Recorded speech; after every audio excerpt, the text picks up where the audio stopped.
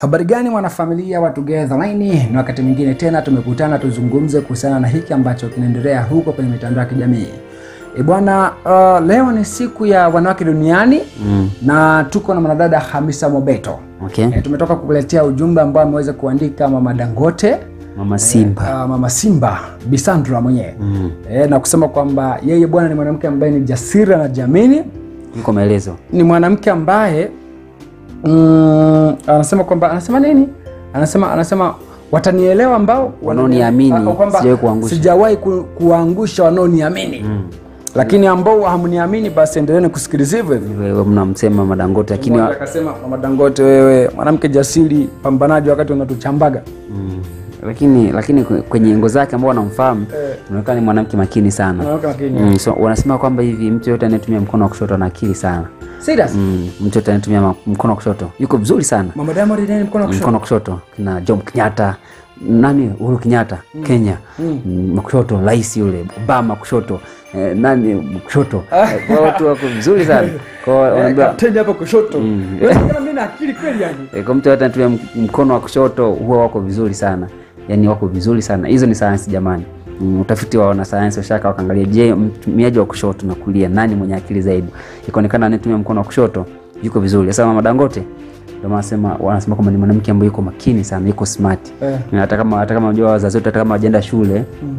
lakini bado anakuwa zile busara zake akili mm. zake unajua akili tofauti na elimu ya nakubali Mm, sasa zile akili zonazo sasa ndo zinaonyesha kwamba huyu yuko vizuri mm, yeah. au sio? Sasa misa Mobeto bwana naye ameweza kuposti hapa uh, picha akiwa ye pamoja na e, mtoto wake bwana. Au sio? Mm, wa kike. wa kike. Mm, kwa baby fans. sababu leo ndo siku yao unajua aweza akamposti Dylan alafu Dylan alafu tena anaandika mambo ya wanawake wanawake nakuwa sio poa. Yeah. Mm, kwa inabidi amposti ambao anaendana naye. Baby, fa- Mm, mm, baby fans. Baby fans au, au fantasy au sio? Mm, yeah. Hapa naona Hamisa Beto akaja akaandika kwamba una nguvu una huruma una upendo una uvumilivu na huta, uh, ukati tamaa. Dunia nzima inakuangalia wewe. Asitokee mtu yoyote akakwambia huwezi. Asitokee mtu yoyote akakushusha chini. Wewe ni wa juu. Wewe ni mwanamke jasiri. Jamini na uendelee kupambana. Happy woman day. Eh, alafu akaweka baby fans Mm, kwa maanake anawezekana ana- anamwambia mtoto wake pia mm. anaambia watu mm. wanawake mm. kwamba wewe ni, wewe ni jasiri una nguvu inabidi upambane mm. unajua kwa- ni maneno mazuri sana kiukweli kwa sababu wanawake kwa mfano kama Hamisa mtu anayeandika maneno maneno ya hivyo ndakuwa kidogo na yeye je wewe ni mfano kweli kwa sababu Hamisa ni mpambanaji ana maduka yake ana, ana mabeto si kids corner mm. ana mabeto stylish ana vitu kama vile vitu tofauti tofauti. Mm. kwa ukiona mtu kama hivyo afu anakushauri kwamba hivi una nguvu una huruma una upendo si vitu kama vile una uvumilivu mvumilivu pia. We mwanamke ni jasiri amka upambane usikate tamaa asitokee mtu akakotesha tamaa akauvunja moyo kwamba uwezi bana unafungua biashara kama hiyo uta- uta- utaishia njiani.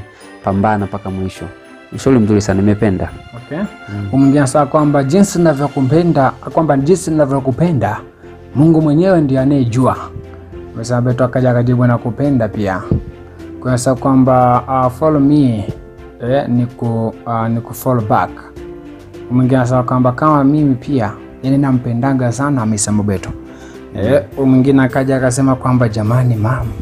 Sasa kwamba she knows how to dress her kids mm, anajua kumvalisha mtoto kwamba Hamisa Mobeto kuhusiana na swala zima la kuwavalisha watoto yuko vizuri Yuko vizuri. Ah, na, na watoto wake watakuwa nani ambaye aga na pondo swala zima la kuvalisha watoto? Zari. Si mzari za Bostedi.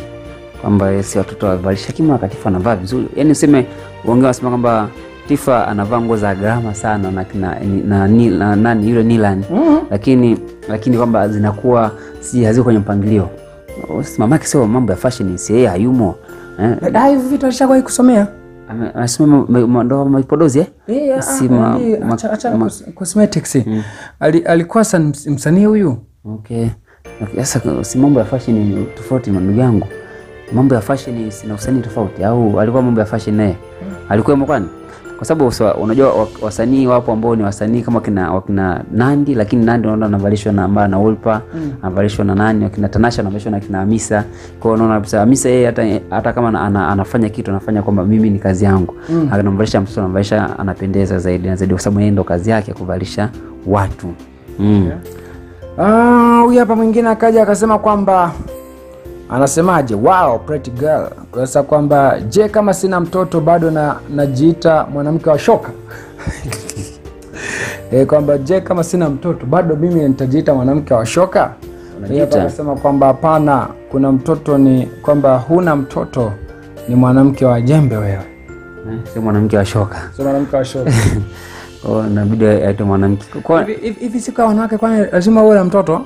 Ni wote tu, mimi nahisi wote wanawake jinsia ya kike Okay. mm, kwa sababu yani ndio maana inaitwa wanawake yani, wanaume Okay. Umezaliwa wa kike, umezaliwa wa kiume, kwao ni ya wote kabisa. Hata kama ni katoto kana siku moja leo kana masaka za leo ni siku yao, ni wote kwao, haibagui haibagui aise.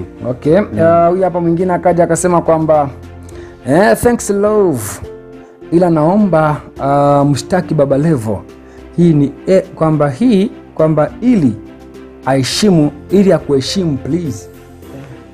Naomba watokesi jamani, wao wanapenda ugomvi sana watu hmm? Ili eti naomba mshtaki Baba Levo. Mm, nani Hamisa apelekeshogi na maneno ya watu Ya, ya, ya, ya, ni, Mm, ni, moja kati ya mwanamke ambaye anajikubali sana alafu- alafu ni smart. Mm, sio kama tu maneno ya watu alipuke. Mm. yaani woga anasikilizia kwanza kwanza angekuwa ameshasema yeye mwenyewe kwamba ili nachukulia kwa mfano kama Kajala alivyokuwa alivyoonekana amezingua ikabidi naye asema kwamba hivi kama ni hivyo mimi hili swala lazima nifikishe kwa wanasheria wangu walifanyie kazi kwa sababu kanisingizia kila kitu mimi na Hamisa kila kitu Hamisa Okay. kwa hiyo na ili watu wanachochea simu mshtaki Baba Levo sidhani kama nalo hiyo Okay. Kwa sababu kwamba jamaa anaomba mkaka mwenye uwezo eh.